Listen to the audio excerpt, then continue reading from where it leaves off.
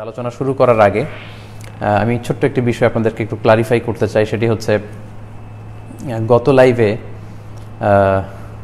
আমার আলোচনার একটা পর্যায়ে আমি আসহাবুল আমাল শাক্কা মানে যারা প্রচণ্ড রোদে কঠোর পরিশ্রম করে যাদেরকে জীবিকা নির্বাহ করতে হয়, তাদের রোজার ক্ষেত্রে বিধান কি হবে এবং সারিয়া তাদের ব্যাপারে কি বলেছে, এই প্রসঙ্গটা আমি টেনেছিলাম। তো তারপর থেকে দেখেছি অনেকে আমাকে, আমার কাছে জানতে চেয়েছেন যে শায়েক রিক্সাওয়ালাদের ব্যাপারে আপনি যেটা বলেছেন, এটা একটু ক্লারিফাই করবেন কিনা? বা আগামী লাইভে এই বিষয় নিয়ে আপনি একটু কথা বলবেন কিনা? আসলে সম্মানিত দিনী ভাই এবং বোনেরা বেসিকলি রিক্সাওয়ালার প্রসঙ্গটা এটা কেবলমাত্র একটা উদাহরণ মাত্র। এটা উদাহরণ হিসেবে আমি এনেছিলাম যে প্রচণ্ড চৈত্র মাসে বাংলাদেশের চৈত্র মাসে যারা রিক্সা চালায় বর্তমানে অবশ্য মোটর দিয়ে রিক্সা আবিষ্কার হয়েছে। মোটর চালিত রিক্সা কিংবা অটো রিক্সা যেটাকে বলে, যেটা চালাতে অবশ্য খুব কষ্ট হয় না। কিন্তু প্যাডেল দিয়ে চালাতে হয় যে রিক্সা, এরকম রিক্সা চালক যারা আছেন রোজা রেখে দু তিনজন যাত্রী নিয়ে প্রচণ্ড রৌদ্রের মধ্যে চৈত্র মাসে বিশেষ করে রিক্সা চালানোটা এটা তাদের জন্য খুবই কষ্টকর। তো এটা জাস্ট একটা উদাহরণ ছিল। বেসিকলি এটা ছিল একটা উদাহরণ। এবং পাশাপাশি আমরা সৌদি আরবে প্রচণ্ড রোদে লেটসে চল্লিশ ডিগ্রি সেলসিয়াস বা পঁয়তাল্লিশ ডিগ্রি সেলসিয়াস রোদের মধ্যে যে সমস্ত ভাইরা কনস্ট্রাকশনে কাজ করে, সেটাও আমরা ফর এন এক্সাম্পল মাসালান উদাহরণস্বরূপ এনেছিলাম। পাশাপাশি আমরা এটাও বলেছিলাম যে আয়রন ফ্যাক্টরিতে প্রচণ্ড উত্তাপে যারা কাজ করে তাদের ব্যাপারে। এবং সেক্ষেত্রে কিন্তু সম্মানিত দিনী ভাই এবং বোনেরা, আমি শুরুতেই বলেছিলাম যে রমজান মাসে এই কাজ, কষ্টকর কাজ করে যদি রোজা রাখতে কন্টিনিউ করতে খুব সমস্যা হয়, তাহলে তাদের জন্য সাজেশন হচ্ছে তারা অন্য কাজ খুঁজবে। যেহেতু এটা তো আল্লাহর একটা ফরজ বিধান। রোজা তাদেরকে কন্টিনিউ করতে হবে। এজন্য প্রথমে কিন্তু আমি কথাটা এইভাবে রিভিল করেছিলাম বা শুরু করেছিলাম যে তারা অন্য কোনো কাজ খুঁজবে। অন্য কোনো কাজের ব্যবস্থা করে হলেও রমাদানে রোজা রাখবে। যেহেতু রমাদান তো হুট করে আসে না। বছরের বারোটি মাসের মধ্যে একটি মাস হচ্ছে রমাদান সো এই জাতীয় কষ্টকর কাজ যারা করে, তারা আগ থেকে অন্য কাজের ব্যবস্থা তারা করবে এবং করে রোজা রাখবে। এটা দিয়ে আমি আসলে কথা শুরু করেছিলাম। তো, আমি বেসিকলি পরিস্থিতি যখন কারও সাধ্যের বাইরে চলে যায় বা কেউ যখন নিরুপায় হয়ে যায়, ওই প্রসঙ্গটা বোঝানোর জন্য বলেছিলাম যে সারিয়া তাদেরকে ছাড় দিয়েছে।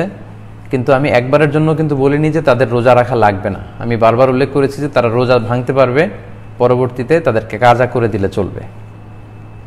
তো এটা হচ্ছে নিরুপায় যদি কেউ হয়ে যায়, সাধ্যের বাইরে তো আল্লাহ তালা কিছু চাপিয়ে দেন না। তো এক্ষেত্রে কথা হচ্ছে, এ জাতীয় কঠিন প্রচণ্ড গরমের মধ্যে থেকে যারা চাকরি করে বা কাজ করে যারা জীবিকা নির্বাহ করেন, তাদের ক্ষেত্রে কথা হচ্ছে আপনারা রামাদানে অন্য কোনো কাজের মাধ্যমে যদি জীবিকা নির্বাহের সুযোগ হয়, সেটা সর্বোচ্চ চেষ্টা করতে হবে। অথবা দিনে কাজ বাদ দিয়ে যদি রাতে কাজ করে মেকআপ করা যায়, সেটার চেষ্টা করতে হবে। অথবা রমাদানে যদি ছুটি নেওয়া যায়, সেটার চেষ্টা করতে হবে। অথবা যেহেতু এটা এগারো মাস পরে এক মাসের জন্য রমাদান, সারা বছর একটু একটু খাবার জমিয়ে রেখে, ইদ্দিখার করে বা একটু টাকা জমিয়ে রেখে রমাদানের জন্য এটা করতে হবে এবং তাদেরকে রোজা রাখতে হবে। এখানে কথা হচ্ছে, শ্রমজীবী সকল ভাইরাই যারা চৈত্র মাসে রিক্সা চালান কিংবা ফ্যাক্টরিতে কাজ করেন কিংবা কনস্ট্রাকশনে কাজ করেন কিংবা মরুভূমিতে প্রচণ্ড রোদে কাজ করেন, তারা রোজা রাখতে হবে। সাহুর খেয়ে প্রতিদিন রোজা শুরু করবে, কিন্তু কাজ করতে করতে যদি অবস্থা এমন হয়ে যায় যে প্রচণ্ড পিপাসার্থ হয়ে গিয়েছেন। অনেক সময় এমন হয় যে বাংলাদেশে চৈত্র মাসে হিট স্ট্রোক করে অনেক লোক মারা যায়। তো রিক্সা চালাতে চালাতে কেউ যদি মারাত্মক পিপাসার্থ হয়ে যান এবং এটা ধৈর্য ধারণ করা যদি তার সাধ্যের বাইরে চলে যায়, অনেকে গরম উত্তাপের মধ্যে কাজ করতে করতে বেহুশ হয়ে যাওয়ার উপক্রম। এইরকম পরিস্থিতি যদি কারও ঘটে, সেক্ষেত্রে তিনি রোজা ভাঙতে পারবেন। এবং এটা হানাফি মাজাবেরও বিভিন্ন ফিখের কিতাবে এমনটাই বলা আছে। রদ্দুল মুখতারেও ঠিক এরকমই বলা আছে, কেউ যদি প্রচণ্ড কাজের কারণে কষ্ট করতে করতে সে যদি পিপাসার্থ হয়ে যায়, প্রাণনাশের আশঙ্কা করে, তাহলে সেক্ষেত্রে সে ব্যক্তি রোজা ভাঙতে পারবে, পরবর্তীতে এই রোজাটি কাজা করে ফেলবে। তো এই পুরো প্রসঙ্গটা বেসিকলি কেউ যদি নিরুপায় হয়ে যায়, সেক্ষেত্রে ইচ্ছা করে কোনো ওজোর ছাড়া শরীরই মারাত্মক ওজোর ছাড়া বা মারাত্মক পরিস্থিতি ছাড়া বা একেবারে ইমার্জেন্সি পিরিয়ড ছাড়া তো কোনো বিশ্বাসী লোক, কোনো মুসলিম তো ঠুনকু কোনো অজুহাত দিয়ে কোনো ওজোর আপত্তি দিয়ে এরকম একটা ফরজ এবাদত ইসলামের একটা গুরুত্বপূর্ণ রোকন তো ছেড়ে দিতে পারে না। কিন্তু অনেকেই বলে বেড়াচ্ছেন যে আমি বলেছি, রিক্সাওয়ালাদের রোজা রাখা লাগবে না। বলেছেন মিজানুর রহমান আজহারি। আসলে কি আমি কথাটা এরকম বলেছিলাম যে রিক্সাওয়ালাদের রোজা রাখা লাগবে না? ব্যাপারটি এমন নয়।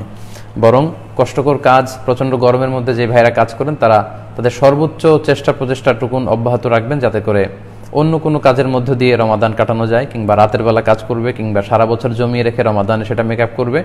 কিন্তু তারা রোজা রাখবে। রোজা রাখা লাগবে না, এমনটি বলা হয়নি। বলা হয়েছে, যদি সাধ্যের বাইরে চলে যায়, নিরুপায় হয়ে যায়, তাহলে তারা রোজা ভাঙতে পারবে। এবং যে কয়টি রোজা তারা ভাঙলো, পরবর্তীতে এগুলো কাজা করে দিতে হবে। এটা হচ্ছে পুরো বিষয়। সো এটা একটা স্পেশাল মোমেন্টের কথা বলা হয়েছে। এটা একটা খাস মাসালা এটা আমভাবে কিন্তু বলে দেওয়া হয়নি রিক্সাওয়ালারা রোজা রাখবে না। কনস্ট্রাকশনে যারা কাজ করবে, এদের রোজা রাখা লাগবে না। বলে আয়াদ বিল্লা এমনটা কিন্তু বলা হয়নি। তো আশা করি এই বিষয়টি আপনাদের কাছে সুস্পষ্ট হয়েছে।